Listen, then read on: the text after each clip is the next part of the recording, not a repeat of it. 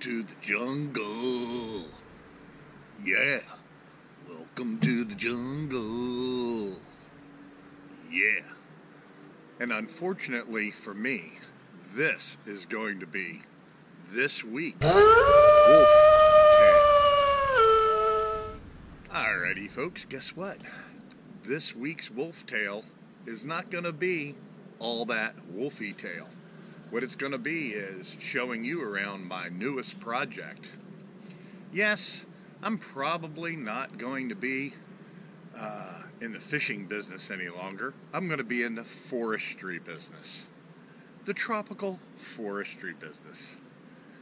Uh, no longer am I going to be doing fishing and fishing charters and all this.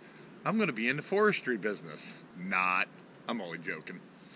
What I'm going to do is I'm going to show you my newest project in between uh, charter fishing, of course, here in Jacksonville, Florida, and I want to welcome you to Captain Dave's Sport Fishing YouTube channel. Well, I'm going to show you around here the Jetty Wolf Ranchero Deluxe Fish Camp. What I've been doing for the last couple days until tomorrow, when I got two guys in the supposed east northeast 10 to 15 knots with good chances of thunderstorms. But I am working hard to get some stuff done here so I can be over and I don't have to worry about it for another couple years. I'm going to show you around the Ranchero Deluxe. Follow me. I'm hoping that this you can actually pick all this up in the camera.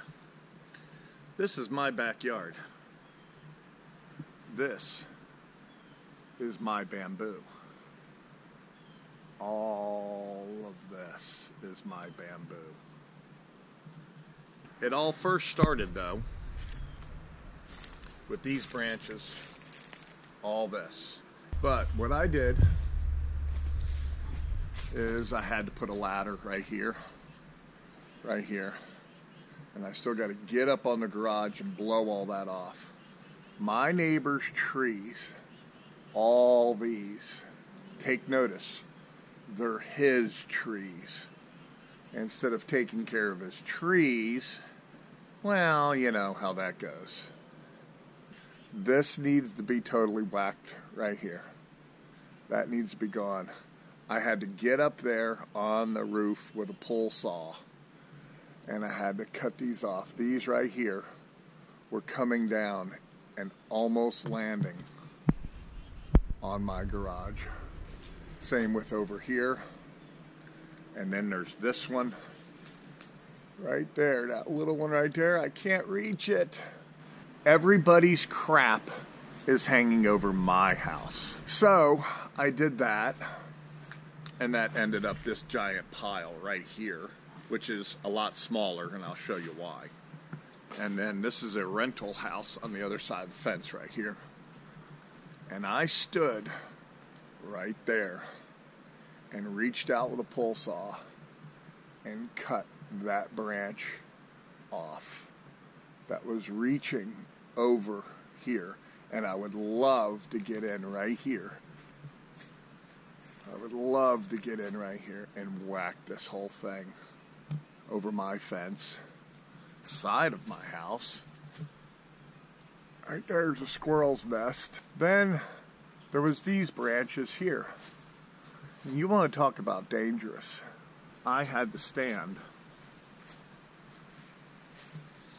right here on my roof and reach a 12 foot pole saw all the way up there and cut those branches. So now, as you can see, it's all clear over my house. Then, all this was my project yesterday, cutting all this, but it didn't end there. Let's take another walk to the backyard. I wanted to take my bamboo here. It originally started out as four sprigs in three different places. One, two, three. And then I came up with this. All of this. Oh my God. Oh my God. And as you can see here, I just ended up just whacking it with the chainsaw. It's an impenetrable fence. As one of my commenters said, all we have to do down on the Mexico border is plant bamboo and let it grow because there is no illegal people going to make it through this. You plant this, that's all she wrote. Is it was growing out. It was way over here. And there's my orange tree and it was literally coming over, and I'm not done yet shading my orange tree. So I have this enormous pile. So this is what I'm doing. I've got one day left. You're going to say to yourself, okay, Dave, now how the hell are you getting rid of all this? Well, there's going to be a part two to this, folks. I am renting a chipper. And since, as you notice, I have zero grass. And I don't want grass because I don't want to have to come home after fishing in the heat all day long and cut grass. So I am going to chip all this and just shoot it and spread it around in the yard. Because as you can see, the bamboo even makes the leaves off the bamboo make some good ground cover. But look at this tree right here. Take a look at this.